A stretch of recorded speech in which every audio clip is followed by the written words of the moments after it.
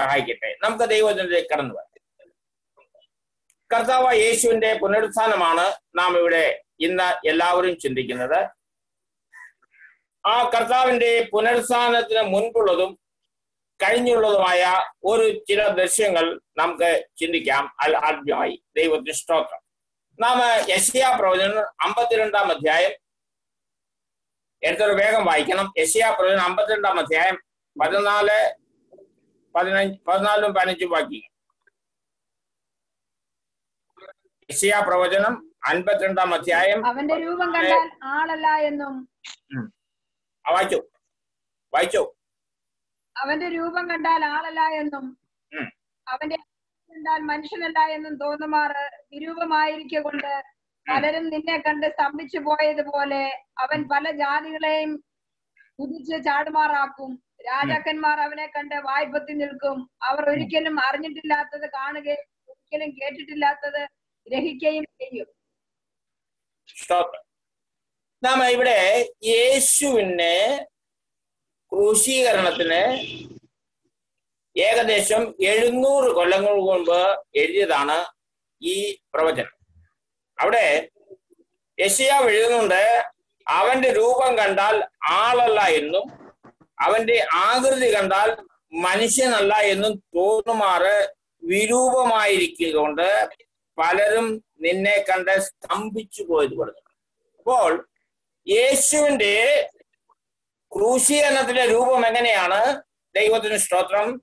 കണ്ടാൽ ആളല്ല എന്ന് തോന്നത്തക്കതുപോലെ. സ്തോത്രം. എന്നാൽ യേശുവിന്റെ ഉയർത്തലിനെ ശേഷം യേശുവിനെ യേശു യേശുവിന്റെ ക്രൂശി എണ്ണം എ ഡി മുപ്പത്തഞ്ചാണെന്നും എ ഡി മുപ്പത്തിമൂന്നാണെന്നും പല വാദങ്ങളുണ്ട്. കാരണം ചിലർ പറയുന്നത് യേശു ജനിച്ചത് എ ഡി രണ്ടിലാണെന്നും ചിലർ എ ഡി ഒന്നിലാണ് ജനിച്ചതെന്നും അങ്ങനെ കാര്യങ്ങളുണ്ട്. ചിലർ പറയുന്നുണ്ട് മുപ്പത്തിമൂന്ന് എ ഡി മുപ്പത്തിമൂന്നിൽ യേശുവിനെ ക്രൂശീകരിച്ചെന്നും ചിലർ മുപ്പത്തിനാലെന്നും ചിലർ മുപ്പത്തഞ്ചെന്നും ഒക്കെ വാദിക്കുന്നുണ്ട്. നാം അത് തർക്കൂഷ്യമല്ല എന്നാൽ അപ്പോസ്റ്റലായ യോഹന്നാൻ ക്രൂശീകരിച്ചപ്പെട്ട ഉയർത്തുന്ന യേശുവിനെ എങ്ങനെയാണ് കാണുന്നതെന്ന് നാം ഈ രണ്ട് ഭാഗം മറന്നു പോകരുത്. ദൈവത്തിന് സ്തോത്രം. ഒന്ന് യശയാവിന്റെ ഉത്സവം അമ്പത്തിരണ്ടാം അധ്യായം പതിനാലാം വാക്യം. അവനെ കണ്ടാൽ ആളല്ല എന്ന് തോന്നത്തക്കവണ്ണം ഉള്ള ഒരു ഭാഗമാണ് നാം യശയാവിന്റെ ഉത്സവത്തിൽ വായിക്കുന്നത്. ദൈവത്തിന് സ്തോത്രം. അവനെ കണ്ടാൽ ആളല്ല എന്ന് തോന്നും. എന്നാൽ യേശു അത് ക്രൂശീകരണത്തിന് മുൻപുള്ളതാണ് ക്രൂശീകരണ സമയത്തുള്ളതാണ് നാം പുസ്തകത്തിൽ വായിച്ചത്. അത് കഴിഞ്ഞ് അമ്പത്തിമൂന്നാം അധ്യായത്തിൽ യേശുവിന്റെ ക്രൂശീകരണം ഒക്കെ നോക്കുന്നത് കാണുവാൻ കഴിയും. എന്നാൽ വെളിപ്പാട് പുസ്തകത്തിൽ ഇത് ഏകദേശം എ ഡി നയന്റി നയനിലാണ് എഴുതിയെന്നാണ് പറയപ്പെടുന്നത് സ്തോത്രം. ഏകദേശം എ ഡി നയന്റിക്കും നയന്റി നയനും ഇടയ്ക്കാണ് എഴുതിക്കുക അപ്പോൾ യേശുവിന്റെ ക്രൂശീകരണം കഴിഞ്ഞ് ഏകദേശം അറുപത് കൊല്ലങ്ങൾക്ക് ശേഷം അപ്പോസനായ യോഹന്നാൻ യേശുവിനെ എങ്ങനെയാണ് കാണുന്നത് എന്ന് നമുക്ക് കാണാം. ദൈവ- യോഹന്നാന്റെ സുവിശേഷം സോറി വെളിപ്പാട് പുസ്തകം ഒന്നാം അധ്യായം ദൈവത്തിന് സ്തോത്രം. അതിന്റെ പന്ത്രണ്ട് മുതലുള്ള വാക്യങ്ങൾ വായിച്ചാൽ വെളിപ്പാട് പുസ്തകം എന്നോട് പന്ത്രണ്ട് മുതൽ ആ വായിച്ചു തിരിഞ്ഞപ്പോൾ പൊന്നിലവിളക്കുകളെയും നിലവിളക്കുകളുടെ നടുവിൽ നിലയങ്കി ധരിച്ച മാറത്ത് പൊൻകച്ച കെട്ടിയവനായി മനുഷ്യപുത്രനോട് സദൃശനായവനെയും കണ്ടു. അവന്റെ തലയും തലമുടിയും വെളുത്ത പഞ്ഞി പോലെ ഹിമത്തും വെള്ളയും കണ്ണ് അഗ്നിജ്വാലയ്ക്കൊത്തതും കാൽ ഉലയിൽ ചുറ്റു പഴിപ്പിച്ച വെള്ളോട്ടിന് സദൃശ്യവും അവന്റെ ശബ്ദം പെരുവെള്ളത്തിന്റെ ഇരച്ചിൽ പോലെയും ആയിരുന്നു. അവന്റെ വലങ്കൈ ഏഴ് നക്ഷത്ര അവന്റെ വായിൽ നിന്ന് മൂർച്ചയേറിയ ഇരുതല ഇരുവായ്ത്തലയുള്ള വാൾ പുറപ്പെടുന്നു. അവന്റെ മുഖം സൂര്യൻ ശക്തിയോടെ പ്രകാശിക്കുന്നത് പോലെ ആയിരുന്നു. അവനെ കണ്ടിട്ട് ഞാൻ മരിച്ചവനെ പോലെ അവന്റെ കാൽക്കൽ വീണു. അവൻ വലങ്കൈ എന്റെ മേൽ വെച്ചു ഭയപ്പെടേണ്ട. ഞാൻ ആരും ആദ്യനും അന്ത്യൻ ജീവനുള്ളവനുമാകുന്നു. ഞാൻ മരിച്ചവനായിരുന്നു. എന്നാൽ ഇതാ എന്നെ എന്നേക്കും ജീവിച്ചിരിക്കുന്നു. മരണത്തിന്റെയും പാതാളത്തിന്റെയും താക്കോൽ എന്റെ കൈവശമുണ്ട്. നീ കണ്ടത് നാം യശയാൻ നൂറ്റി അമ്പത്തിരണ്ടാം അധ്യായം എന്താണ് വായിച്ചത്. ദൈവത്തിന് സ്തോത്രം. അവനെ കണ്ടാൽ ആളല്ല എന്ന് തോന്നത്തക്കോണം നാം വായിച്ച ഒരു പ്രത്യേക പദം നമുക്ക് അവിടെ പ്രത്യേകം ശ്രദ്ധിക്കാം. നമുക്ക് ഒരു മണി വരെ സമയമുണ്ട്. ഞാൻ ഒരു മണിക്ക് നിർത്തുന്നതായിരിക്കും. ആരും ക്ഷമിക്കണ്ട. ഒരു മണിക്ക് രണ്ട് മിനിറ്റ് മുമ്പേ ഞാൻ നിർത്തും. ദൈവത്തിന് സ്തോത്രം. ഇവിടെ വായിക്കുന്നത് അവന്റെ രൂപം കണ്ടാൽ അവന്റെ മുഖം കണ്ടാൽ സ്തോത്രം. യേശുവിന്റെ തലയിൽ മുൾക്കിരീടം വെച്ച് ആഞ്ഞടിച്ചു. അവന്റെ മുഖത്തെ തുപ്പി അവന്റെ രോമം പറിച്ചെടുത്തു. അപ്പോൾ ഇപ്പൊ അവന്റെ മുഖം കണ്ടാൽ എങ്ങനെ ഇരിക്കും ആളല്ല എന്ന് തോന്നും. അതാണ് യേശുവിന്റെ ക്രൂശീകരണത്തിൽ ഉണ്ടായിരുന്ന മുഖം. ഇപ്പൊ അവനെ കണ്ടാൽ ആളല്ല എന്ന് തോന്നും. സ്തോത്രം എന്നാൽ വെളിപ്പാട് പുസ്തകത്തിൽ യേശു കണ്ട അവനെ കണ്ട മുഖം അവന്റെ മുഖം സൂര്യൻ ശക്തിയോടെ പ്രകാശിക്കുന്നത് പോലെയായിരുന്നു മുഖം കണ്ടാൽ ആളല്ല എന്ന് തോന്നിയ മുഖം അവന്റെ റിസറക്ഷന് ശേഷം അവന്റെ ഉയർപ്പിന് ശേഷം ഇപ്പോൾ എങ്ങനെയാണ്? ആ മുഖം സൂര്യൻ ശക്തിയോടെ പ്രകാശിക്കുന്നു. പ്രിയപ്പെട്ട ദൈവമക്കളെ ഇന്ന് നമ്മുടെ മുഖം വാടിയിരുന്നാലും ഇന്ന് നമ്മുടെ മുഖം ഹല്ലലിയ നന്ന നല്ല സൗന്ദര്യമില്ല എങ്കിലും ഇന്ന് നമ്മെ കാണുവാൻ ഹല്ലേലൂയ ദൈവത്തിന് സ്തോത്രം. നമ്മുടെ മുഖം മ്ലാനമായിരിക്കുന്നുണ്ടെങ്കിലും നാം ഒരു നാൾ ഉയർത്തെഴുന്നേൽക്കും ശശിഭരനെ ഓർപ്പിച്ചതുപോലെ യേശു ഉയർത്തെഴുന്നേറ്റു എന്നുള്ളത് കൊണ്ട് നാം ഉയർത്തെഴുന്നേക്കുള്ള തെളിവാണ്. അല്ലെ? ഒന്ന് പറഞ്ഞ് പതിനഞ്ചാമത്തെ ആ ഭാഗങ്ങളൊക്കെ വായിക്കുന്നുണ്ട്. അവർ ഉയർത്തെഴുന്നേറ്റുവെങ്കിൽ നാമും ഉയർത്തെഴുന്നേൽക്കും. അപ്പോൾ നമ്മുടെ മുഖവും എങ്ങനെയായിരിക്കണം? സൂര്യനെ പോലെ പ്രകാശമുള്ള ഒരു മുഖവുമായി നാം ദൈവത്തിന് എഴുന്നേൽക്കാൻ പോവുകയാണ്. ഈ വാടിയ മുഖം മാറി ദൈവത്തിന് സ്തോത്രം. പ്രകാശമേറിയ ഒരു ഉജ്ജ്വലമായ മുഖം നമ്മുടെ കർത്താവ് തരാൻ പോവുകയാണ്. ദൈവത്തിന് സ്തോത്രം. യേശുവിന്റെ രണ്ട് മുഖങ്ങൾ. ഒന്ന് ക്രൂശീകരണത്തിലുള്ള മുഖവും രണ്ടൊന്ന് ഉയർത്തുന്നേറ്റ മുഖവും ദൈവത്തിന് സ്തോത്രം. ഈ മുഖം വെളിപ്പാട് പുസ്തകത്തിൽ വായിക്കുന്നത്. ദൈവത്തിന് സ്തോത്രം. ഈ മുഖം സൂര്യനെ പോലെ ശോഭിച്ചു. നാം എപ്പോഴും സൂര്യനെ പോലെ നമ്മുടെ ഒരു ഉയർപ്പിന്റെ നാൾ വേഗം വരുന്നുണ്ട്. ദൈവത്തിന് സ്തോത്രം. ഈ നാൾ ഒന്ന് നമ്മുടെ കർത്താവ് വന്നാൽ ഇല്ലെങ്കിൽ നാം മരിച്ചുയർത്തെഴുന്നേറ്റാൽ ദൈവത്തിന് സ്തോത്രം. അവന്റെ മുഖം സൂര്യനെ പോലെ ശോഭിക്കുന്നത് നമുക്ക് കാണുവാനായിട്ട് കഴിയും ദൈവത്തിന് സ്തോത്രം. യേശുവിന്റെ അടക്കത്തെ പറ്റിയും ഉയർപ്പിനെ പറ്റിയുള്ള ഒന്നുണ്ട് ചില ചിന്തകൾ നമുക്ക് വീണ്ടും ഷെയർ ചെയ്യാം. ഞാൻ കഴിഞ്ഞ ദിവസങ്ങളെ പഠിക്കുകയും ചിന്തിക്കുകയും ചെയ്ത ഒന്നുണ്ട് വിഷയങ്ങളാണ്. യേശുവിന്റെ അടക്കത്തിൽ ചെറിയ കാര്യങ്ങൾ പോലും എഴുതിയിട്ടുണ്ട്. അത് എന്തിനാണ് എഴുതിയെന്ന് നമുക്ക് പലപ്പോഴും മനസ്സിലാകുന്നില്ല. ഉദാഹരണത്തിന് യോനാൻ സുവിശേഷം ഇരുപതാം അധ്യായം ഏഴാം വാക്യം എന്ന് വായിച്ചാൽ യോനാൻ സുവിശേഷം ഇരുപതാം അധ്യായം ഏഴാം വാക്യം.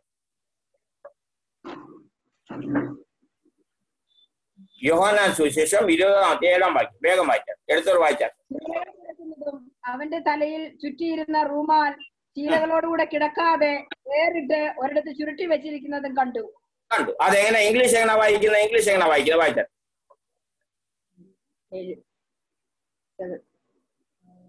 As well as the burial cloth that had been around Jesus' head, the cloth was folded up by itself, separate from the linen. Ah, fold.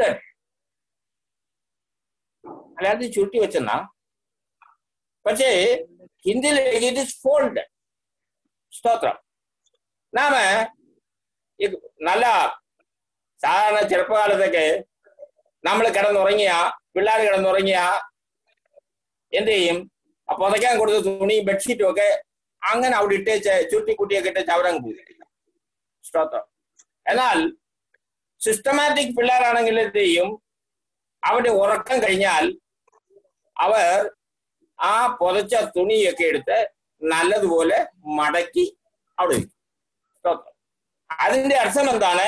അവരുടെ ഉറക്കം കഴിഞ്ഞു. സ്തോത്രം ഇപ്പോ ഉറക്കം കഴിയാതെ ആണെങ്കിൽ അവിടെ ഇട്ടേച്ച് അവർ അവിടെ പാട്ടും പോകും. അല്ലെങ്കിൽ എളുപ്പം പോകണമെങ്കിൽ ധൃതിയോടെ പോകണമെങ്കിൽ പിന്നെ ബെഡ്ഷീറ്റ് മടക്കാനൊന്നും സമയമൊന്നുമില്ല.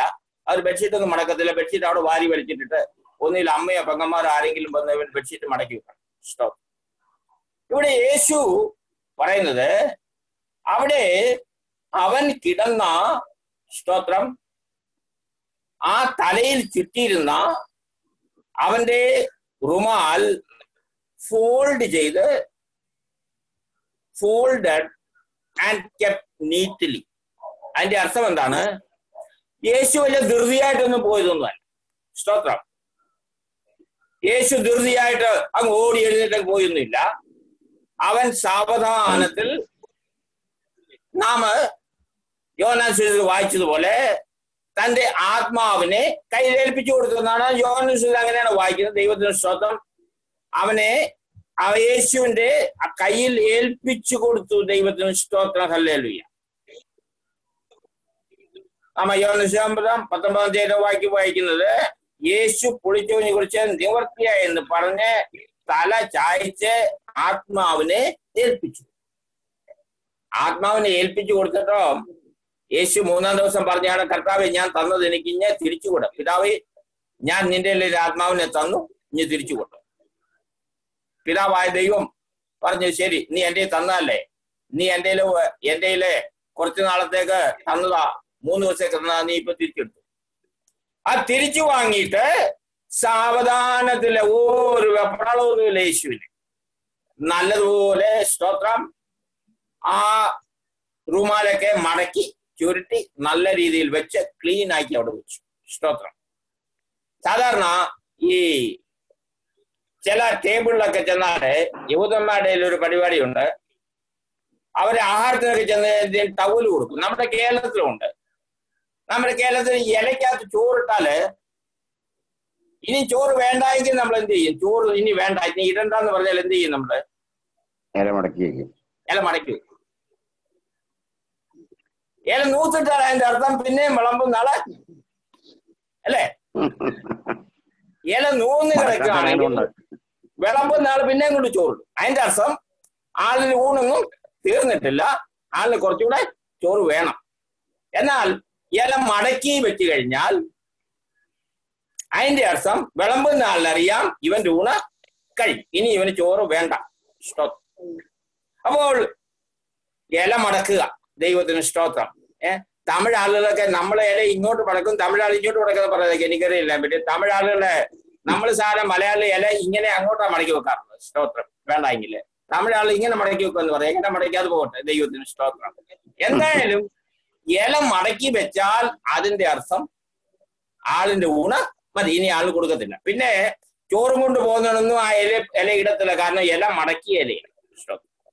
അതുപോലെ ഈ വലിയ ഹോട്ടലുകളൊക്കെ ചെന്നാൽ ഞാൻ വലിയ ഹോട്ടൽ ഒന്ന് രണ്ട് പ്രാവശ്യമൊക്കെ പോയിട്ടുള്ള ചില ഹോട്ടലിൽ അവിടെ ചെന്ന് നമ്മൾ പ്ലേറ്റിനകത്ത് സ്പൂൺ ഇങ്ങനെ രണ്ടു വശവും വെച്ചിരുന്നതിന്റെ അർത്ഥം ഇനിയും അവനെ അഴിക്കാൻ തീർന്നിട്ടില്ല. നാല് പ്ലേറ്റ് എടുക്കത്തില്ല.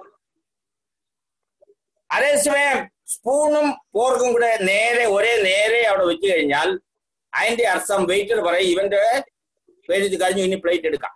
സ്തോത്രം അതേ സ്പൂണ് രണ്ട് വശത്തോട്ടും എന്താ വെച്ച്? ഒരു പ്ലേറ്റിന്റെ സ്പൂൺ ഒരു സൈഡിലും ആ പോർക്ക് ഒരു സൈഡിലും രണ്ട് സൈഡിലും ലെഫ്റ്റും റൈറ്റും വെച്ചിരുന്നാൽ ആ വെയിറ്റർ ആ പ്ലേറ്റ് എടുക്കത്തില്ല. കാരണം അദ്ദേഹത്തിന് ഇനിയും ഫുഡിന്റെ ആവശ്യമുണ്ട്. എന്നാൽ പ്ലേറ്റും ആ സ്പൂണും പോർക്കും നേരെ നേരെ വെച്ച് കഴിഞ്ഞാൽ ഒരേ സമയത്ത് വെച്ചിരുന്നാൽ അതിന്റെ അർത്ഥം ആളിന്റെ ഊണൊക്കെ കഴിഞ്ഞു വെയിറ്റർ പ്ലേറ്റ് എടുക്കുന്നു. അതിന്റെ അർത്ഥം നാം ഇവിടെ വായിക്കുന്നത് യേശു പറഞ്ഞു സകലതും നിവർത്തിയായി. സ്തോത്രം. അപ്പോൾ യേശു തന്റെ കിടന്ന തന്റെ വസ്ത്രം ലിനൻ മടക്കി വെച്ചു എന്ന് പറഞ്ഞാൽ അതിന്റെ അർത്ഥം സകലതും നിവൃത്തിയായി ഇനി ഒന്നും ചെയ്യുവാനില്ല. സകലതും ചെയ്ത് തീർത്തു. ദൈവത്തിന് സ്തോത്രം. ഹല്ലേലൂയ. സ്തോത്രം. അതുപോലെ നാമ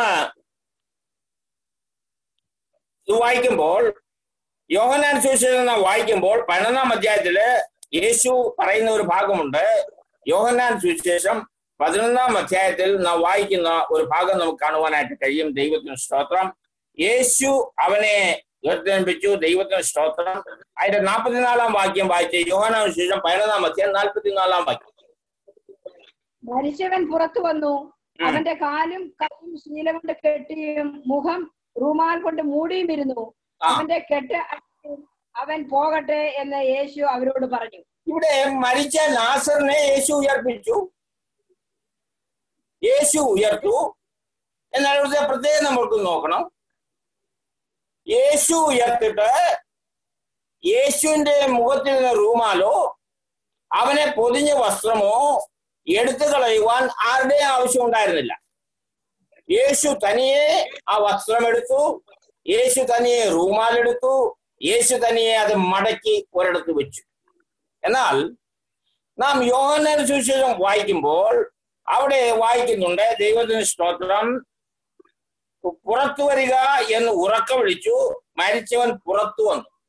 അവൻ മരിച്ചവൻ ജീവിച്ചു. ലാസർ ജീവിച്ചു.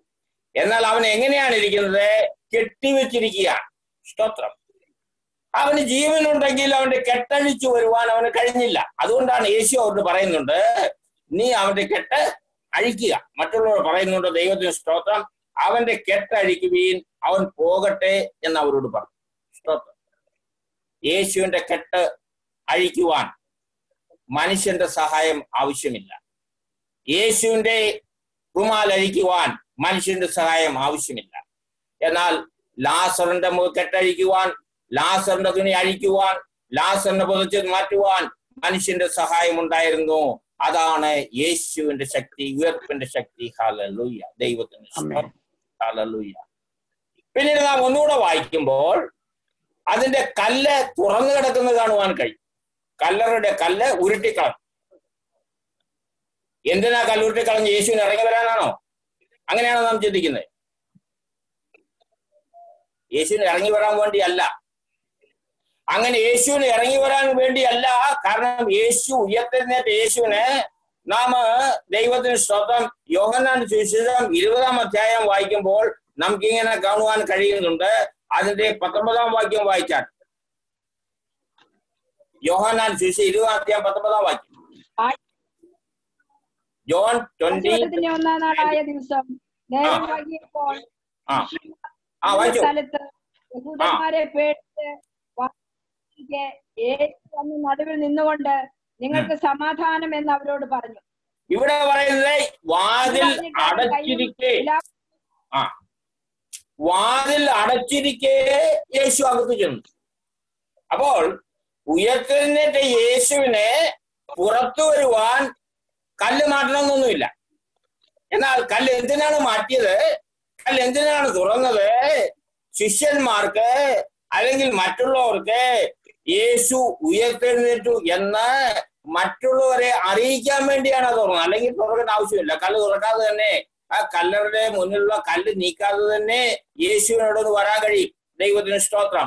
കാരണം ഇരുപതാം അധ്യായത്തിൽ നാം പത്തൊമ്പതാം വാക്യത്തിൽ വായിച്ചത് യേശു വാതിൽ അടച്ചിരിക്കേ അകത്ത് ചെന്നു. ദൈവത്തിന് സ്തോത്രം. പ്രിയപ്പെട്ട ദൈവമക്കളെ ഉയർത്തുന്ന ശരീരത്തിലെ പ്രത്യേകത ദൈവത്തിന് സ്തോത്രം. ഹല്ലേലൂയ. നാം വാതിൽ അടച്ചിരുന്നാലും ഏത് സ്ഥാനത്തും കയറി ചെല്ലുവാൻ കഴിയും. ഹല്ലേലൂയ. നാം ഉയർത്തെഴുന്നേറ്റാൽ ഇന്നത്തെ പ്രൈം മിനിസ്റ്ററിന്റെ ഹല്ലേലൂയ ഓഫീസിനകത്തും കയറിയിട്ടില്ല സ്തോത്രം ഉയർത്തുന്ന ശരീരമായി അങ്ങനെയുള്ള പ്രൈം മിനിസ്റ്ററിന്റെ അങ്ങനെയുള്ള ലോകത്തെ ആളുടെ എല്ലാവരും ഓഫീസിൽ കയറിച്ചെല്ലാം ദൈവത്തിന് സ്തോത്രം അതിനെ ആരും വാതിൽ തുറക്കുകയോ ഗേറ്റിനകത്ത് എഴുതി വെക്കുകയോ ഒന്നും ചെയ്യേണ്ട ആവശ്യമില്ല. ദൈവത്തിന് സ്തോത്രം എന്നാൽ വാതിൽ ഗേറ്റ് തുറന്നു കിടന്നത് കല്ല് തുറന്നത് എന്തിനു വേണ്ടിയാണ് ദൈവത്തിന് സ്തോത്രം ശിഷ്യന്മാർ അറിയുവാൻ ദൈവത്തിന് സ്തോത്രം യേശു ഉയർത്തെഴുന്നേറ്റു ദൈവത്തിന്.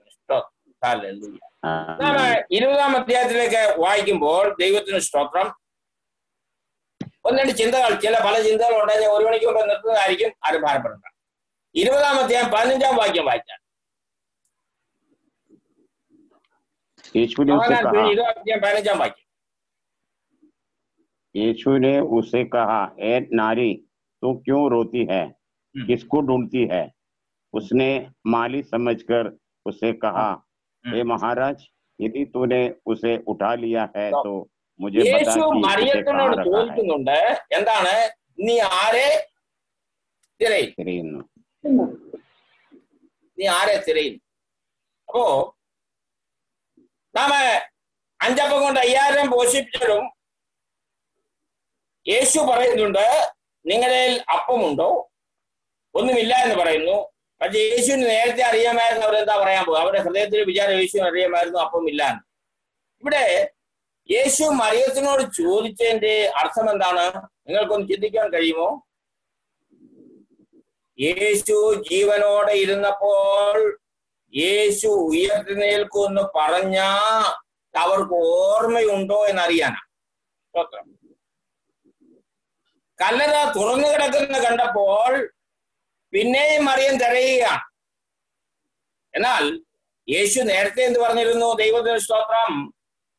ഞാൻ മൂന്നാം നാൾ ഉയർത്തെഴുന്നേൽക്കും ദൈവത്തിന് സ്തോത്രം.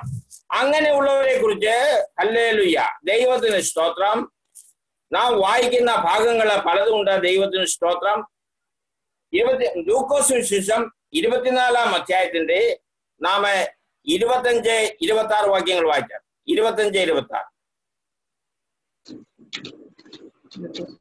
ലൂക്കോസ് ശിക്ഷ ഇരുപത്തിനാലാം അധ്യായം ഇരുപത്തഞ്ച് ഇരുപത്തി ആറ് അവൻ അവരോട് അയ്യോ. ബുദ്ധിഹീനരെ പ്രവാചകന്മാർ പറഞ്ഞിരിക്കുന്നത് എല്ലാം വിശ്വസിക്കാത്ത മന്ദബുദ്ധികളെ ക്രിസ്തു ഇങ്ങനെ കഷ്ടം അനുഭവിച്ചിട്ട് തന്റെ മഹത്വത്തിൽ കടക്കേണ്ടതല്ലയോ എന്ന് പറഞ്ഞു.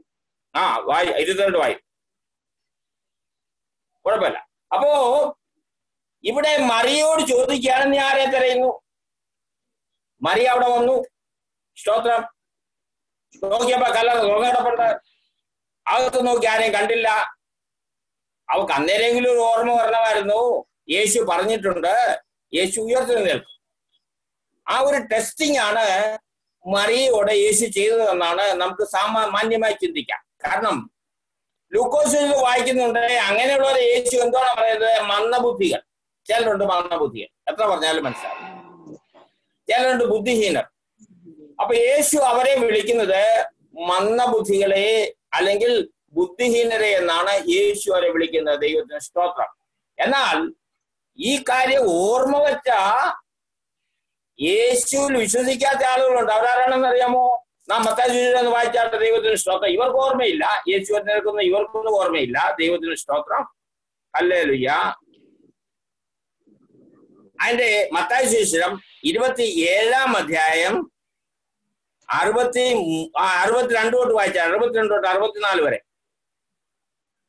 മത്തായ ശേഷം ഇരുപത്തിയേഴാം അധ്യായം അറുപത്തിരണ്ട് മുതൽ അറുപത്തി അഞ്ച് വരെ ഒരുക്കനാളിന്റെ പിറ്റേ ദിവസം. മഹാപുരോഹിതന്മാരും പരീക്ഷന്മാരും പീലാത്തോസിന്റെ അടുക്കൽ ചെന്നുകൂടി. യജമാനനെ ആ ചതിയൻ ജീവനോടിരിക്കുമ്പോൾ മൂന്ന് നാൾ കഴിഞ്ഞിട്ട് ഞാൻ ഉയർത്തെഴുന്നേൽക്കും എന്ന് പറഞ്ഞ പ്രകാരം ഞങ്ങൾക്ക് ഓർമ്മ വന്നു. ഇവർക്ക് ഓർമ്മ വന്നു. ആർക്ക് ഓർമ്മ വന്നു? ശാസ്തിമാർക്കും പരീക്ഷന്മാർക്കൊക്കെ ഓർമ്മ വന്നു. എടാ ചതിയൻ ജീവനോട് പറഞ്ഞിരുന്നു മൂന്ന് നാൾ കഴിഞ്ഞ് ഉയർത്തെടുക്കും എന്നാൽ ശിഷ്യന്മാർക്ക് ഓർമ്മയെ വന്നില്ല. അവർക്കൊരു ഓർമ്മയില്ല. യേശു മരിച്ചിട്ടില്ലെന്ന ഒരു ഓർമ്മയും വരാത്തവരാണ് ശിഷ്യന്മാർ. മൂന്നര കൊല്ലം അവന്റെ കൂടെ നടന്ന് അവന്റെ കൂടെ അപ്പം ഇറച്ചിട്ടിരുന്ന് അവന്റെ കൂടെ അത്ഭുതങ്ങൾ കണ്ട് അവന്റെ വാക്കുകൾ കേട്ട് ശിഷ്യന്മാർക്ക് ഓർമ്മ വന്നില്ല. എന്നാൽ യഹൂദന്മാർക്ക് യേശു വിശ്വസിക്കാത്തവർക്ക് യേശുവിനെ അറിയാത്തവർക്ക് ഓർമ്മ വന്ന് എന്തു വന്നു? ഈ ചതിയൻ ദൈവത്തിന് സ്തോത്രം. ജീവനോടെ ഇരിക്കുമ്പോൾ മൂന്ന് നാൾ കഴിഞ്ഞിട്ട് ഞാൻ ഉയർത്തെഴുന്നേൽക്കുമെന്ന് പറഞ്ഞ പ്രകാരം ഞങ്ങൾക്ക് ഓർമ്മ വന്നു. അവർക്ക് ഓർമ്മയായി. എന്നാൽ ലൂക്കോസ് സുവിശേഷത്തിൽ വായിച്ചത് അവർക്ക് ഓർമ്മയേ ഇല്ല. സ്തോത്രം. മറിയയ്ക്ക് ഒരു ഓർമ്മയേ ഇല്ല. സ്തോത്രം. യേശു ഉയർത്തേക്ക് പറഞ്ഞവർ ആരും ഓർത്തില്ല. എന്നാൽ സദൂക്യരും പരീക്ഷന്മാരും ശാസ്ത്രിമാരും ന്യായപ്രമാണകരും ഓർത്തു ഇവൻ ഉയർത്തെഴുന്നേൽക്കും അതുകൊണ്ടാണ് താഴോട്ട് വായിക്കുന്നത്. അവൻ അവരോട് പറഞ്ഞു ഈ ചതിയൻ പറഞ്ഞപ്പോൾ ഇങ്ങനെ പറഞ്ഞിട്ടുണ്ടായിരുന്നു. അതുകൊണ്ട് പോയി ആ കല്ലറ ഉറപ്പാക്കണം. ഹല്ലേലൂയ. പ്രിയപ്പെട്ട ദൈവമക്കളെ നാം ഓരോന്നും ഓർത്തിരിക്കണം ദൈവത്തിന് സ്തോത്രം. നാം ദൈവത്തിനെ ഓർത്തിരിക്കണം ദൈവത്തിന് സ്തോത്രം. ഒരു ഭാഗം കൂടെ വായിച്ചിട്ട് നാം സമയം ദീർഘിപ്പിക്കുന്നില്ല. ആദ്യത്തെ പ്രസംഗത്തിന്റെ ഒരു ഭാഗം കൂടെ വായിച്ചിട്ട് ഞാൻ എന്റെ വാക്കുകളെ ചുരുക്കാം. അപ്പോ പ്രവൃത്തിയിൽ ഒന്നാം അധ്യായത്തിന്റെ ഒന്നിട്ട് ഭാഗം കൂടെ വായിച്ച് നമുക്ക് പ്രാർത്ഥിക്കാം. ദൈവത്തിന് സ്തോത്രം. അപ്പോ പ്രവൃത്തിയിൽ രണ്ടാം അധ്യായം. അതിന്റെ മുപ്പത് ഉള്ള വാക്യങ്ങൾ വായിക്കാം. അപ്പോസ പ്രവൃത്തി രണ്ടാം അധ്യായം അതിന്റെ മുപ്പതാം ആ. എന്നാൽ അവൻ പ്രവാചകനാകയാൽ ദൈവം അവന്റെ കടിപ്രദേശത്തിന്റെ ഫലത്തിൽ നിന്ന് ഒരുത്തനെ അവന്റെ സിംഹാസനത്തിൽ ഇരുത്തുമെന്ന് തന്നോട് സത്യം ചെയ്ത് ഉറപ്പിച്ച് എന്ന് എന്ന് അറിഞ്ഞിട്ട് അവനെ പാതാളത്തിൽ വിട്ടുകളഞ്ഞില്ല വായിച്ചു വായിച്ചു. അവന്റെ ജനം കണ്ടതുമില്ല. എന്ന് ക്രിസ്തുവിന്റെ പുനരുത്ഥാനം മുമ്പ് കൂട്ടി കണ്ട് പ്രസ്താവിച്ചു. ഈ യേശുവിനെ ദൈവം ഉയർത്തെഴുന്നേൽപ്പിച്ചു. അതിന് ഞങ്ങൾ എല്ലാവരും സാക്ഷികളാവുന്നു അവൻ ദൈവത്തിന്റെ വലതുഭാഗത്തെ വലഭാഗത്തേക്ക് ആരോഹണം ചെയ്ത് പരിശുദ്ധാത്മാവ് എന്ന വാഗ്ദത്തം പിതാവിനോട് വാങ്ങി. നിങ്ങൾ ഈ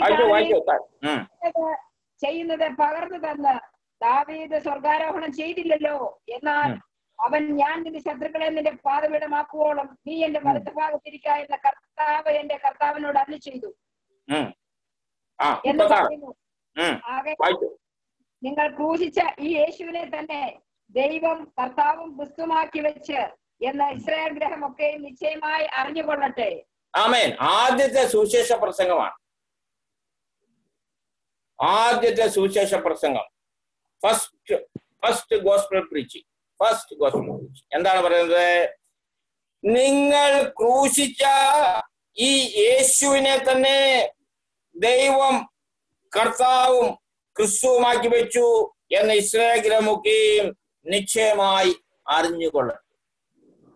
അവർ ചെയ്ത കഠിന പ്രവൃത്തികൾ അവർ ചെയ്ത ദോഷപ്രവൃത്തികൾ കുറ്റമൊന്നും ചെയ്യാതിരുന്നിട്ടും നാം ചിന്തിച്ചാൽ യേശുവിനെ ക്രൂശിച്ചത് നിയമവിരുദ്ധമാണ്. It is against rule against rule of the land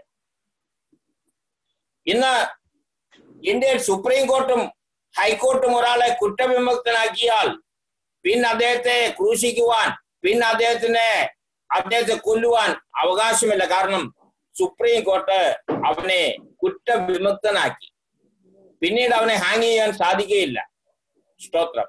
എന്നാൽ അഞ്ച് കോടതികളിൽ ഏഴ് പ്രാവശ്യം വിസ്തരിച്ചിട്ടും കുറ്റമില്ല എന്ന് പറഞ്ഞവനെയും കുറ്റവിമുക്തനാക്കിയവനെയും ഒന്നുകൂടെ ക്രൂശിച്ചു എന്ന് പറഞ്ഞാൽ ആ ലോ ഓഫ് ദ ലാൻഡ് ആ ദേശത്തിന്റെ നിയമപ്രകാരം അവർ ചെയ്തത് കഠിനമായ തെറ്റാണ്.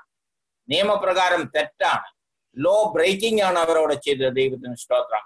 ഇത് കേട്ടപ്പോൾ അതാണ് നമ്മൾ അടുത്ത ഭാഗം വായിച്ചത്. അത് കേട്ടപ്പോൾ അപ്പസ്പതിയാൽ അവരുടെ ഹൃദയത്തിന് കുത്തുകൊണ്ട് അവർ അപ്പസ്വന്മാരോടും ചോദിച്ചു അല്ലേലുയ സഹോദരന്മാരെ പുരുഷന്മാരെ രക്ഷപ്പെടുവാൻ ഞാൻ എന്ത് ചെയ്യണം? ദൈവത്തിന് സ്തോത്രം. ഇന്ന് പൽക്കാലം എന്നെ കേൾക്കുന്ന പ്രിയപ്പെട്ട ദൈവമക്കളെ നമ്മുടെ അരുമനാഥന യേശു മരിച്ചു അടക്കപ്പെട്ടു ഉയർത്തെഴുന്നേറ്റു ദൈവത്തിന് സ്തോത്രം. ആ ദൈവത്തെ ഇന്ന് പൽക്കാലം നമുക്ക് കാണുവാൻ കർത്താവിനെ വാഴ്ത്തുവാൻ തന്ന അവസരത്തിനായി സ്തോത്രം. ഈ ദൈവം നമ്മെ സഹായിച്ചു. അവൻ പറയുന്നുണ്ട് എവറിങ് ഈസ് ഫിനിഷ്ഡ് സകലത് നിവർത്തിയായി. മാനവജാതിക്ക് വേണ്ടി മാനവത്വ രക്ഷയ്ക്ക് വേണ്ടി മനുഷ്യജാതി രക്ഷയ്ക്ക് വേണ്ടി ദൈവത്തിന് സ്തോത്രം. ഹല്ലിയ സകലത് നിവർത്തിയായി എന്നറിയിച്ച് നമ്മുടെ അരുമനാഥനെ കർത്താവ്. അവൻ നിവർത്തിയായ തെളിവായി നാം വായിക്കുന്നുണ്ട്. അവൻ അവന്റെ റൂമാലെ ചുരുട്ടി ഫോൾഡ് ചെയ്ത് ഒരിടത്ത് വെച്ചിരുന്നു. അവൻ നിവർത്തിയാക്കി. മനുഷ്യ രക്ഷ നിവർത്തിയാക്കി. അതിൽ കൂടെ ദൈവം നമുക്ക് സമാധാനം തന്നു. നമുക്ക് പ്രത്യാശ തന്നു. ഇരുപതാമത്തെ ഇരുപതാമത്തെ അധ്യായ വാക്യം വായിക്കുന്നുണ്ട്. വാതിൽ അടച്ചിരിക്കുക അകത്ത് കിടന്നു പറയുന്നുണ്ട്. നിങ്ങൾക്ക് സമാധാനം. ഈ സമാധാനം തന്ന യേശുവിനെ ഇന്ന് പലക്കാലം നമുക്ക് ഒന്നുകൂടെ കാണുവാൻ ആരാധിക്കുവാൻ നമുക്ക് ഭാഗ്യം തന്നല്ലോ. നമ്മുടെ കണ്ണുകളെ ഒന്നുകൂടി അടയ്ക്കാം. യേശു അമ്പത്തിരണ്ടാം അധ്യായത്തെ പുസ്തകം വായിക്കുന്നുണ്ട്. അവന്റെ മുഖം കണ്ടാൽ വിരൂപമായിരുന്നു. ആളെന്ന് തോന്നുവാൻ കഴിയാത്തവനെ. അല്ലെ വെളിപ്പാട് പുസ്തകം പറയുന്നുണ്ട്. അവന്റെ മുഖം ശോഭ പോലെ സൂര്യന്റെ ശോഭ പോലെ പ്രകാശിക്കുന്ന ആ നല്ല മുഖം ആ യേശുവിനെ കാണുവാൻ നമ്മുടെ കാലം അടുത്തു. ഈ നാളിലൊന്ന് നമ്മുടെ അരുമനാഥനായ യേശു ആകാശമേൽ കടന്നു വരും യേശു ഉയർത്തെഴുന്നേറ്റുകൊണ്ട് നാം ഉയർത്തെഴുന്നേൽക്കും നാം ഈ ലോകത്തെ പ്രത്യാശ വെച്ച് മാത്രം പ്രത്യാശ വെച്ചിരുന്നാൽ നാം എല്ലാം അരിഷ്ടന്മാരാണ്. ഈ ലോകത്തിൽ മാത്രം പ്രത്യാശ ഉണ്ടെങ്കിൽ എല്ലാം നാം എല്ലാ മനുഷ്യരെക്കാളും അരിഷ്ടന്മാരായ മനുഷ്യരാണ്. ആകിയാൽ നമ്മുടെ പ്രത്യാശ